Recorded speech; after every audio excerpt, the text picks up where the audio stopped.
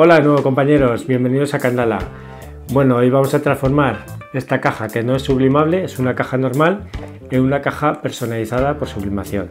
Así que no te pierdas el vídeo porque vamos a enseñarte cómo transformar una caja normal en una caja sublimable, qué tipo de caja o material es el indicado para, para realizar estas cajas y cómo realizar el diseño y la sublimación de la misma. Me llamo Israel y empezamos con el vídeo. Lo primero que tienes que saber es que no vale una caja muy oscura. Como sabes la sublimación, en la sublimación los colores se van a añadir al color de fondo. Por lo que si coges una madera muy oscura, pues no se va a ver la sublimación.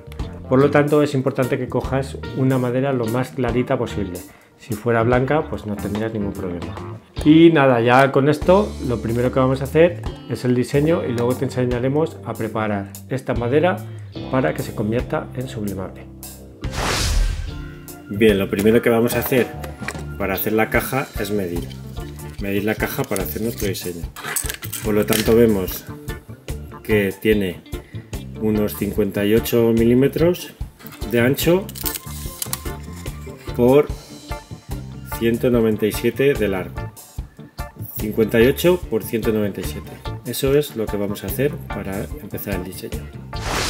Bueno, pues para el diseño le hemos dado archivo nuevo, nos venimos aquí, le vamos a dar a imprimir, le vamos a dar milímetros, como hemos dicho que eran 197 por 58, le vamos a hacer un poco más grande, le vamos a poner 205 por 65 60, 65 de alto. Y ya está. Y una vez creado pues vamos a poner un diseño. Vamos a ponerlo uno de cumpleaños vale vamos a poner aquí unos globitos. Que se ve ahí como unos globos. Para darle más color. Y le vamos a poner aquí feliz cumpleaños. Y ya está. Le vamos a poner aquí un trazo de color blanco y punto peloche. Ya cada uno aquí el diseño que quiera hacer. Y ya estaría nuestro diseño.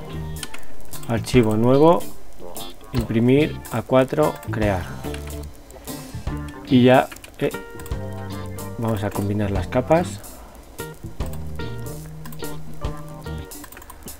Combinar visibles. Y ya estaría nuestro diseño. Vamos a voltear a la derecha.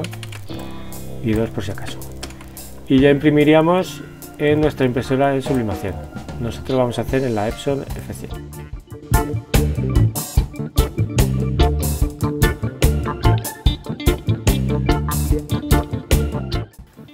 Bien, ahora vamos a preparar lo que es la madera para sublimación. Tenemos un vídeo que os dejamos aquí un enlace de formas de preparar madera para sublimar y hoy lo vamos a hacer con cola blanca, cola blanca de carpintero. ¿Cómo lo vamos a hacer?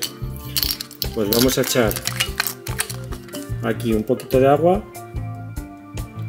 muy poquito, y vamos a echar la cola de carpintero. muy poquito también. Ahora lo enseño. Vale. Muy poquito simplemente prácticamente que solo manche el, el agua. Vale. No es que eches mucha cola y, y poco agua no. Es mucho agua y poca cola vale cola de carpintero blanca. Podéis usar la que queráis. Y ya simplemente le damos un brochazo. Ahí. Porque esto tiene un polímero. Le podemos dejar que seque. Y le damos otro brochazo aunque no es eh, no es con esto ya te vale Vale, pues ya le hemos dado nuestro eh, nuestra capa de cola con agua y lo dejamos secar. Vale, mientras seca lo que podemos hacer es recortar nuestro diseño. Para el planchado vamos a usar la plancha de Cricut. ¿Vale? Tenéis un vídeo ya, la podéis comprar en Yo Imprimo Digital, por ejemplo, que la tienen. Y lo que vamos a ponerla en 3, porque como va a ser sublimación, la ponemos en 3. Podéis usar otra plancha, incluso a lo mejor meterla en esta plancha que tengo yo. Si la subo mucho, también se podría hacer pero lo más eh, normal que tengáis esta planchita que cuesta unos 55 euros y la verdad que está muy bien y para plancharla simplemente lo que vamos a hacer es ponerla ahí nuestro diseño centrado. Y como como vamos a estar dándole con la plancha lo que vamos a hacer es pegarlo para que no se nos mueva.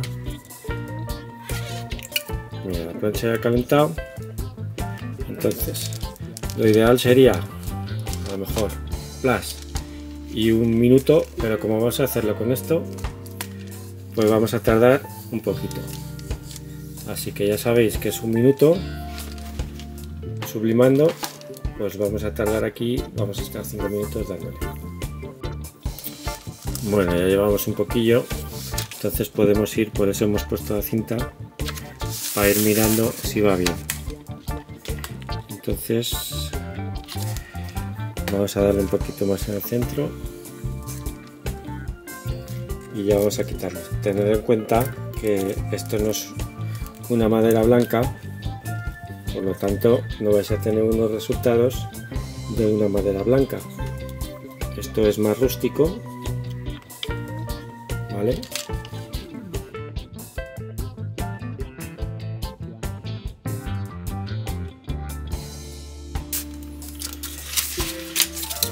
Vale.